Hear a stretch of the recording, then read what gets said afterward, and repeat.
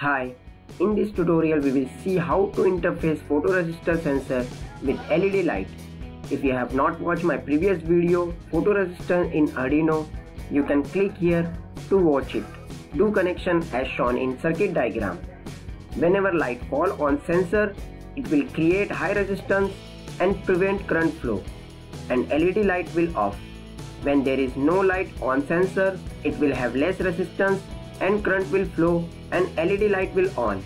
All the parts and programming is same as previous video. Only for this you will need one LED light and two extra jumper wire.